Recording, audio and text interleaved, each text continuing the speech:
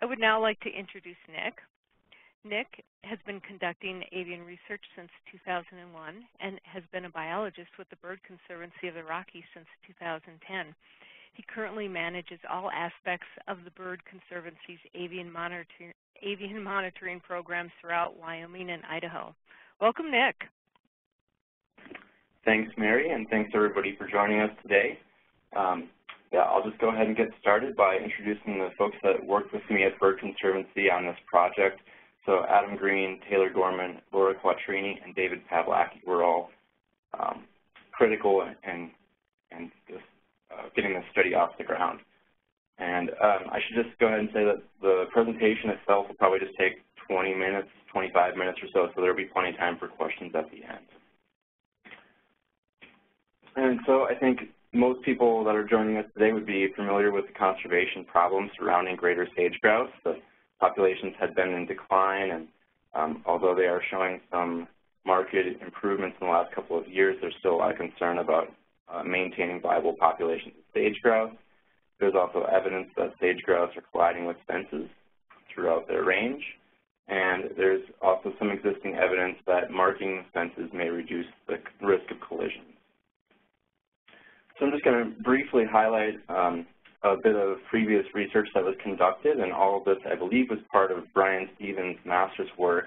Um, he looked at uh, looking at collisions of sage grouse in one study area in southern Idaho, and he produced, I think, at least three papers, if not four, from his master's work, so a very nice study. Uh, the first paper that came out of his uh, research project was looking at whether or not marking fences does in fact reduce collisions. And in this study, they observed an 83% reduction in collisions when they marked fences. They used a single style of vinyl uh, siding fence marker with uh, reflective tape adhered to it. They produced another paper uh, entitled Multi-Scale Assessment of Greater Sage-Grouse Fence Collision as a Function of Site and Broad-Scale Factors. I thought this was a really nice paper looking at some of those local and landscape level factors that might influence collision risk. Some of their findings from this paper were that post type might influence risk and that wooden posts would reduce collision risk compared to uh, metal or T-posts. Also the width of what I'll call the fence panel, which is just the fencing between the posts. So where, where posts were spread more uh, further apart, there was a increased risk of collision. Also, they found a regional effect within their study area. They found that the density of fences within the study area impacted collision risk, that the distance to leks and or distance between the fencing and the leks impacted risk. So the closer you are to a lek or the closer a fence is to a lek, the higher the collision risk. And then also topography. So the flatter an area, the, the riskier it is in terms of collision. From this, uh, the local and landscape factors that they looked at, they were able to produce uh, or map a sage-grouse fence collision risk, and this risk map was based on topography and proximity to leks. So again, flatter and closer to leks results in higher risk. So we wanted to build off this research and expand or just add to this kind of scientific knowledge with a, a, another study looking at the risk of collision for sage grouse. And we really had three different objectives. The first was to evaluate different styles of fence marker. So as I mentioned, uh, Stevens et al. used the single style of fence marker that's shown in the middle there with the white PVC vinyl siding and uh, with a, a, strip of reflective tape. So we also looked at fly-safe markers, which are shown on the left there, and then also the vinyl siding markers that did not have the reflective tape to see how they would uh, do in terms of uh, reducing collision. The second objective was to investigate local and landscape scale factors impacting collision risk, so kind of following up on that second paper that I discussed from Stevens et al. And then thirdly, to validate the collision risk model that, uh, again, Bryan Stevens and collaborators produced. And in the discussion section of that third paper that I discussed, where they developed this collision risk model, they, uh, the authors acknowledged the fact that they were extrapolating their uh, study from in southern Idaho out to the extent of the sage-grouse range. and that there was need to validate that risk model in other areas. So our study took place in Sublette County, Wyoming. It's an area of high sage grouse density. It's um, known to have uh, greater sage grouse colliding with fences, and we knew that through talking with BLM land managers, uh, particularly Dale Woolwine. Um, nice thing about the BLM lands within Sublette County is that they're relatively easy to access. The public lands are rather contiguous, and it's not quite the checkerboard that uh, some of the other BLM lands in the state uh, display. And then lastly, we knew that there were some cooperative landowners that would be willing to work with us on this project as well. So the design of the study, uh, we obtained a fence layer from the Pinedale BLM field office, and then we used the collision risk map to basically clip the fence line, um, just retaining areas that were in high or medium risk areas based on that collision risk map. And then we looked for leks that had a minimum of two kilometers of high or medium risk fencing within a three kilometer radius of the lek. And then of those leks that remained, we randomly selected 26 of them to include in our study. At each of those 26 leks, we then took the two kilometers of fencing that was in the high or medium risk areas. We broke it into four 500 meter stretches of fencing and then randomly assigned each of those treatments. So we had the three different styles of fence marker and then we also had a control or an unmarked um, treatment that was also assigned to 500 meters of within each of the 26 different leks. So the methods we installed markers in October of 2013 and March of 2014. As I mentioned, we had the three marker types, and then we had the unmarked control stretches. Where we were actually placing markers on the fence, we put them on the top wire only, and we spaced them about two to three feet apart and also two to three feet off of uh, posts. And that was consistent with recommendations from NRCS. We also collected some variables that we could use in, as covariates in the analysis. So we took measurements of six points along each of the 500 meter fence segments. So those measurements were taken 100 meters apart from each other. We looked at vegetation height as well as fence height so we could start to calculate the amount of exposed fence that stands above the vegetation. We also obtained lek information from Wyoming Game and Fish, and we used the collision risk map as I already described. So I'll briefly, briefly walk you through this image here. Mm -hmm. On the right, see if I can get my mouse over. So here, this green dot where my mouse is, is, is the lek itself. And then within three kilometers, we were able to obtain um, two kilometers of high-risk fencing. And you can see here that we have Uh, this blue stretch indicate, is indicating the white markers were placed on the fence. This gray is the reflective. The black was a control stretch that was unmarked, and then the yellow is the fly safe. So in a single day, when an observer was conducting a survey, they would, might park their vehicle over here, and then they could walk down the fence line here, and this would be considered visit number one. When they reached the end and they've surveyed all four sections of the fence, they would then cross over the fence line and then walk back. And the, the return walk back to the truck would be considered visit number two. So there were a minimum of two surveys in a day, um, and then we would visit each fence section or, or lek, or all the four fence segments associated with a lek um, in a single day, and then we would visit that area five to six times each year and then, as I mentioned, were two years. So we only included confirmed strikes in the analysis, and we had a total of 64 confirmed strikes throughout the two years of our study. What we considered a confirmed strike to be was where there was evidence actually stuck in the fence of a bird colliding. And so that would be feathers that we could identify positively to be a greater sage grouse. Um, so what this means is that we had a lot of other instances where there were feathers on the ground or um, stuck to posts, and a lot of these were removed unless there was additionally feathers stuck in the fence. And we did this because we realized that raptors were really utilizing the fence posts quite a bit, um, both for uh, the consumption of prey and also for just perching and preening as well. And so we saw um, quite commonly lots of instances where you've got remains on fence posts. Here, um, this third picture from the top, you've got a lot of feathers on the ground that are all kind of centered around a fence post. This is likely a, a plucking post from a raptor.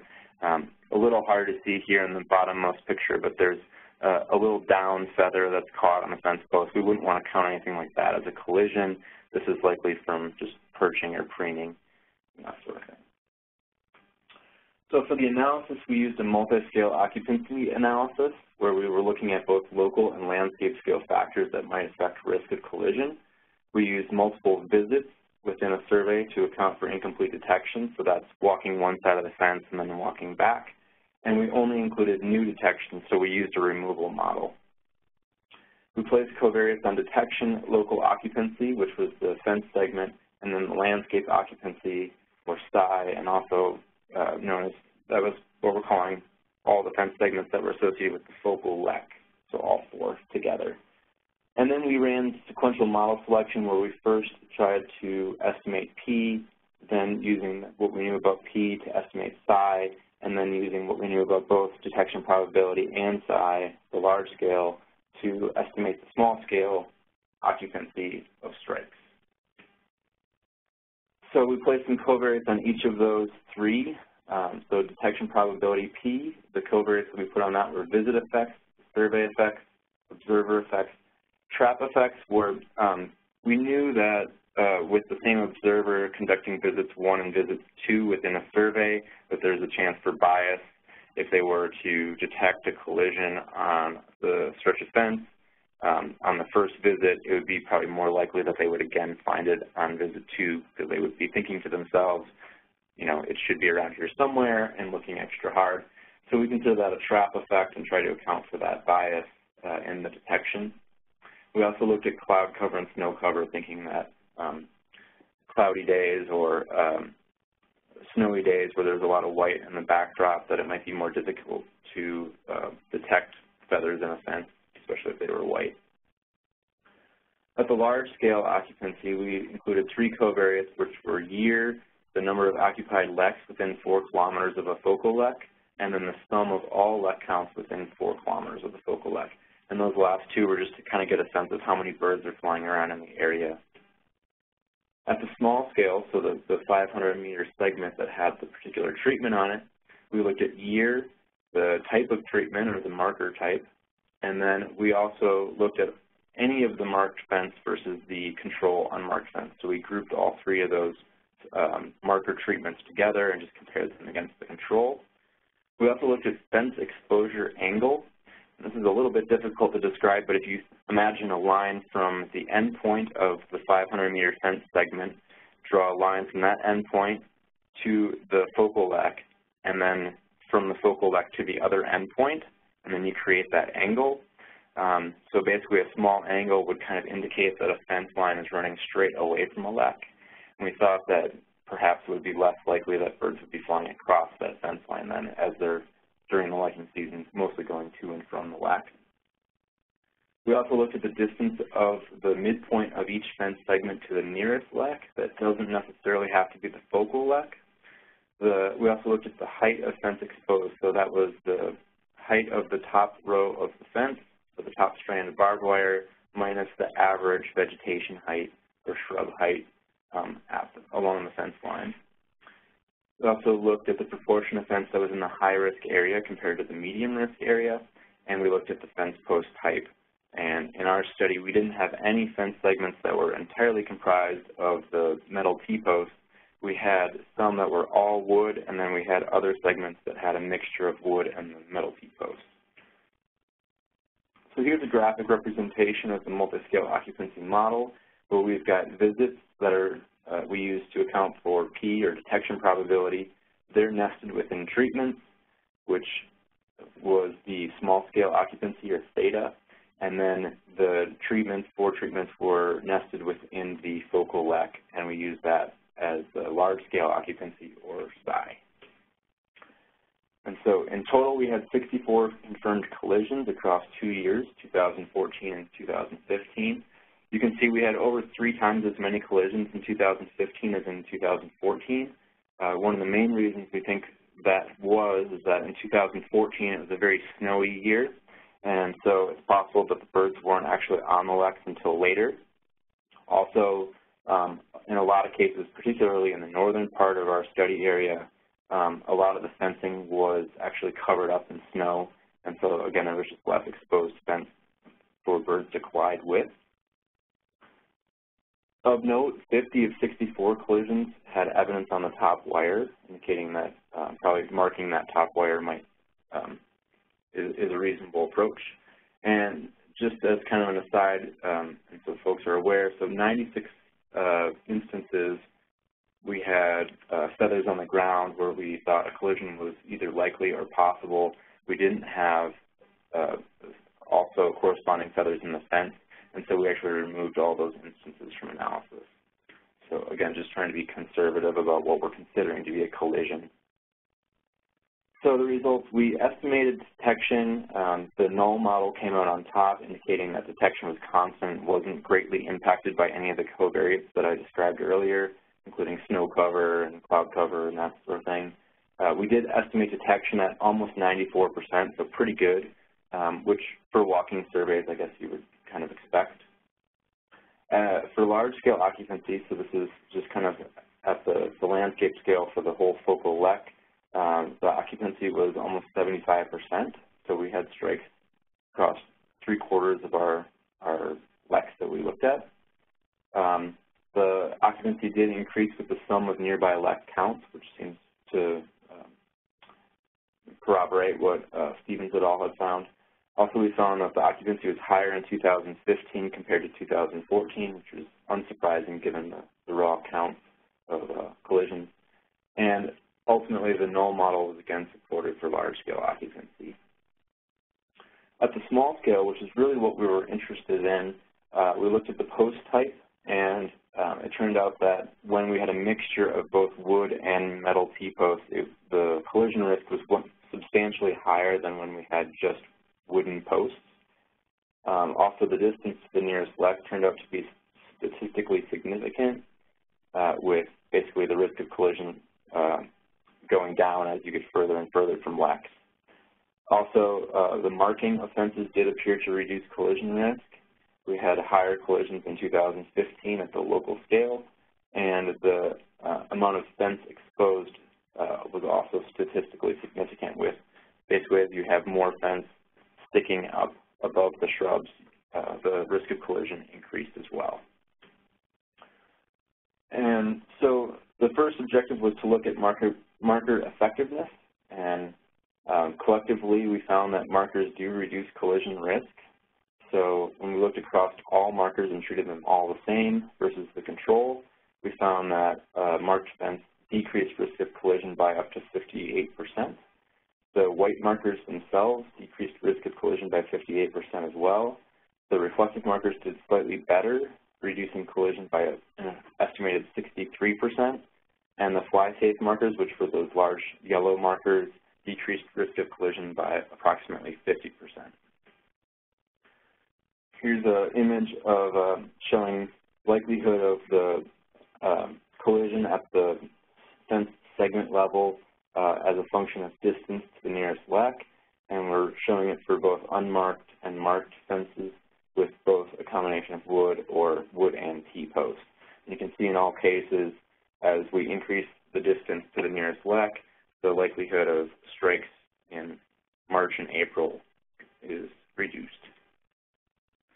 Similarly, we can map uh, the risk as a function of fence exposure. So this is in centimeters across the x-axis. And again, this is the likelihood that the sage grouse would strike the 500-meter fence segment. And again, it's, it's shown for unmarked and marked fences with either wood posts or a combination of wood and T-posts. And so ultimately we found that as you reduce the amount of exposed fence sticking up over the top of the shrubs by 15 centimeters, we're expecting a 40% reduction in the risk of collision. So we have two images here on the, the left. I mean, you can see that there's not that much fence sticking up above the shrubs, so we would think that this would be a lower risk area compared to the area on the right where we have very low shrubs and almost the entire height of the fence is sticking up above the vegetation.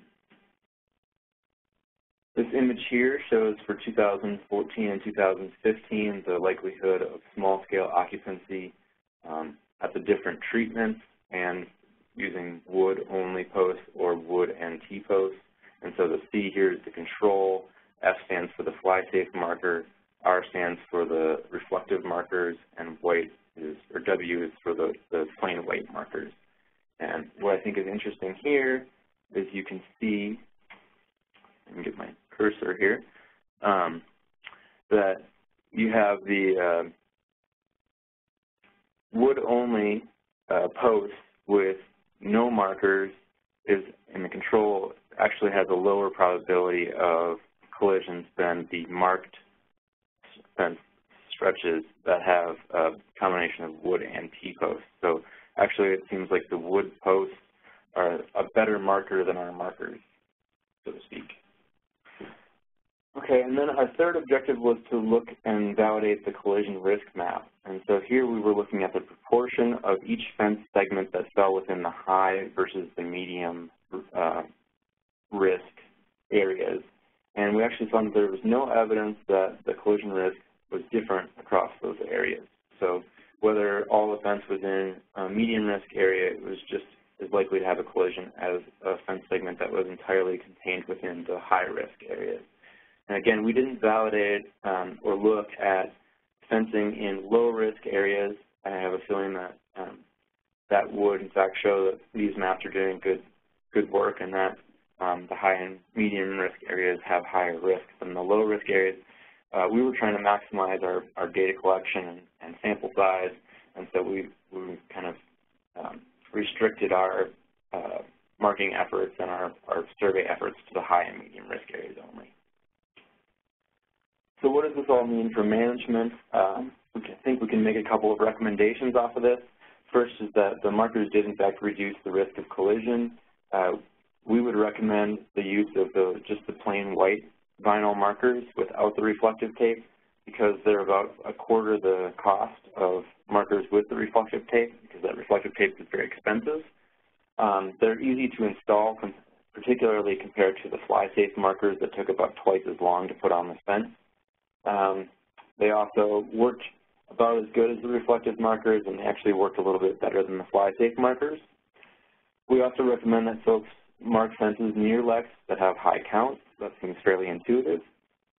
Um, we recommend that you target marking efforts on fences with short vegetation near the fence that have, again, that uh, larger amount of exposed fence sticking up above the vegetation.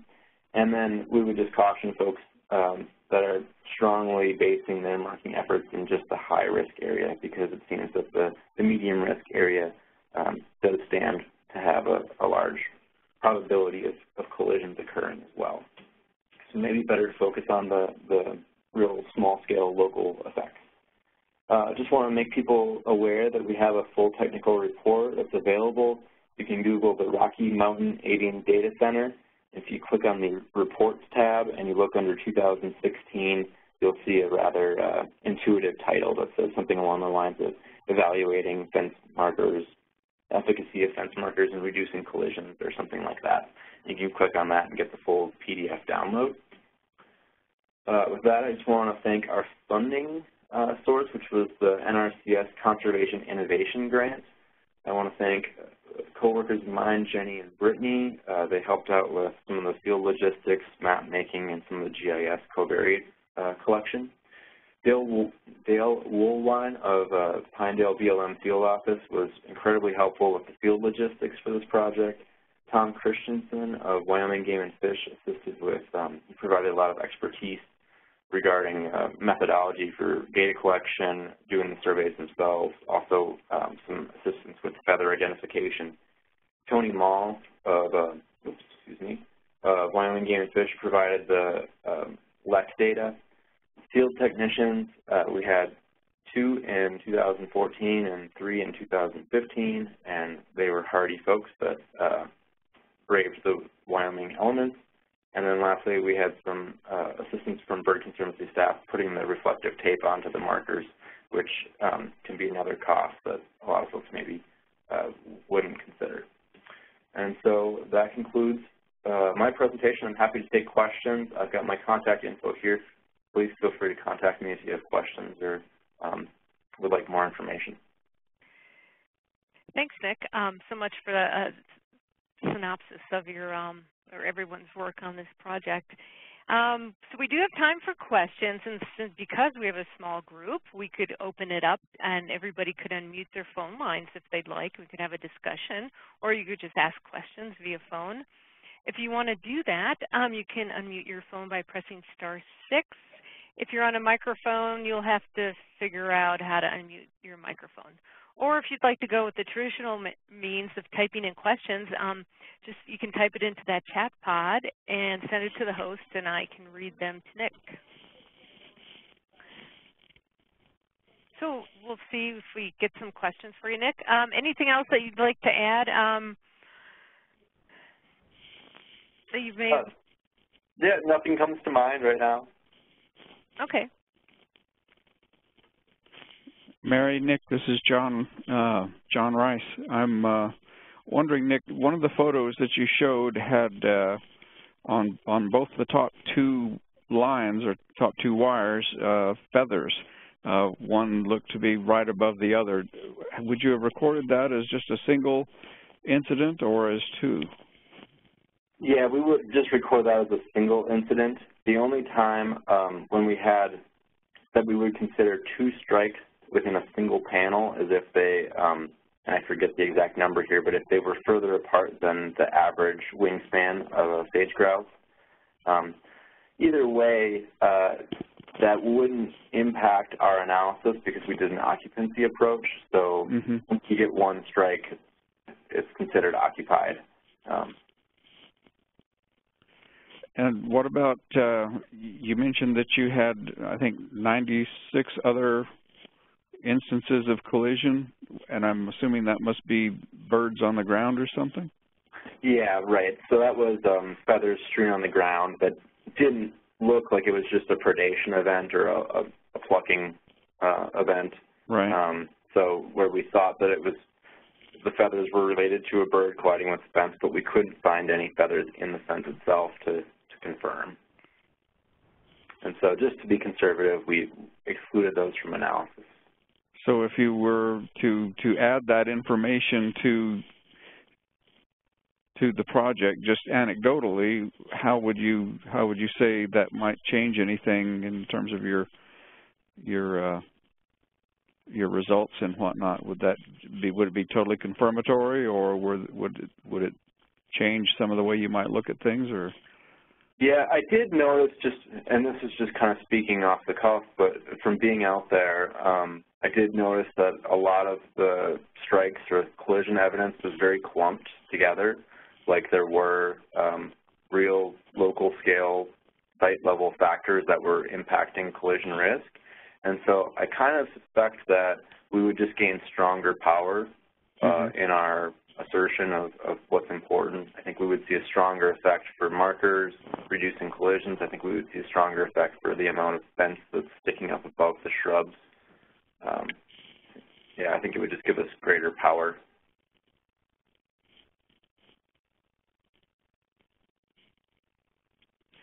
Thanks, John. Uh, yeah, that's a question, John. Thanks. Sure. We have a question that was typed in from D. Bills. Um, is there any information on the significance of the collisions, injuries, fatality rates? Yeah, I can only say that we um, are fairly certain of one confirmed mortality from all the collision evidence that we found. There was one instance where we found a whole carcass and it had a, a very small puncture hole right in the head, um, and there was, of course, feathers in the fence right next to it. So um, that was kind of a confirmed mortality due to the fence. My suspicion is that a lot of these fence collisions ultimately result in mortality, um, whether that's you know instant or if it's a day later because of a broken wing and it makes them more susceptible to predation and that sort of thing.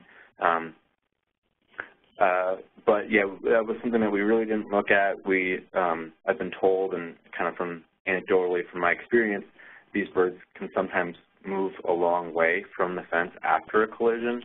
Um, sometimes we would find um, the bulk of the feather pile um, which we assumed to be associated with the collision. We would find feathers on the fence, and then 60 yards away we would find um, the bulk of the feather pile, like where the, maybe the animal had expired there and then um, been consumed by something else. So yeah, no real way to look at a probability of mortality resulting from a collision from this study, but I would expect it to be rather high. Thanks, Nick. So we have a little bit of time left. If anybody would like to unmute themselves, uh, feel free to ask a question or to type one in. I'd like to ask a question. This is Vicki Heron. Um, I noticed in one of the pictures that there was some woven wire fence in there and other pictures that were um, barbed wire and the number of wires seemed to vary. So was that, um, I didn't hear you talk about the, the fence type at all. So was that one of the covariates or considered at all? We did consider the um, number of strands, and that didn't come out as a significant uh, variable. Um, we did not look at whether or not it was the, the, sheep fencing, I think a lot of people call it, where it's got um, basically kind of the panels. Uh, um, it's got wire, wires going north and south, or up and down, and left and right um, for the bottom uh, couple of strands. So we didn't look at that. Um, I think probably that would increase the risk slightly, but by and large, I think it would be fairly difficult for a sage grouse to fly between your standard barbed wire strands. Um, I guess it's possible, but yeah, that, that wasn't something that we tested explicitly. But I would agree with you that probably in general sheep fencing provides a greater risk to sage grouse than the barbed wire. I think probably getting linking that back to the earlier question too, um, I would think the sheep fencing probably results in a higher probability of mortality resulting from a collision um, because they're really only like a two two inch by maybe four inch um, square pattern and hard for a sage grouse to fit through that. Right, but some um, uh, barbed wire fences may have only three strands and others four, so there may be more space in between the wires that a, a grouse might actually try to get through. I don't know. Just just curious if if if, if that could be considered a factor in in collisions. Yeah, I think that you're absolutely right, and that that could impact uh, the risk of collisions, and it's just not something that we looked at in this study. But it's a great thought. Um, we also um, ran into a little bit of elk fencing, and I think it would be really interesting to look at that as well. Um, obviously, there you've got fence going up maybe, what, seven, eight feet tall. Um, seems like it could uh, affect the collision risk. Yeah, it does. Um, so I have another question. Um, you talked about shrub height along the uh, section of fence and that you measured shrub height and then averaged it. Was that correct? Yeah, so what we did is we measured it at each of the strikes or collision sites, and then we also took measurements at, along six panels that were 100 meters apart um, along just to kind of get the average for each fence segment. Okay. Because this, even in this picture you can see here, there's quite a quite a variation, and I just I just uh, I mean I, obviously there in one of your previous pictures there was a you know a, a stretch where it was all very low, and and then other places where it's all much higher, but it, there are also these areas where you get both. Absolutely, yeah, and we could have done a more thorough job of trying to estimate, you know, the vegetation height and the, the fencing height along the entire stretch. Uh, it's a limitation of our work, but uh, I think six sites and taking the average along 500 meter stretches, it's yeah. somewhat informative.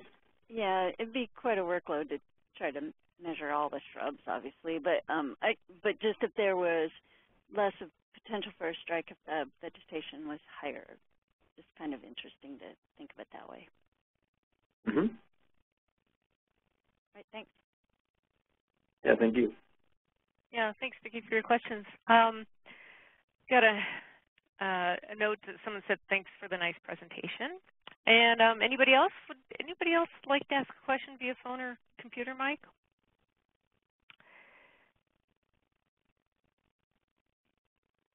If so, speak up now.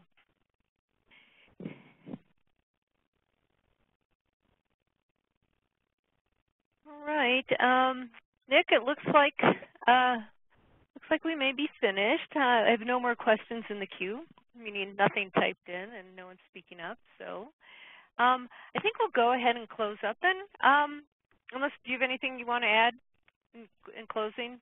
Oh, just want to thank uh, both you and, and, John Rice for the opportunity to present uh, to the Southern Rockies. So thanks. Great. Yeah, we'd like to thank you too, Nick, for presenting, spending the time. And I'd also like to thank our audience for attending today's webinar. And as I said earlier, I'll be sending out the webinar recording and a PDF of the slides as well as Nick's contact information if you didn't write it all down. Um, it'll be coming probably sometime next, next week.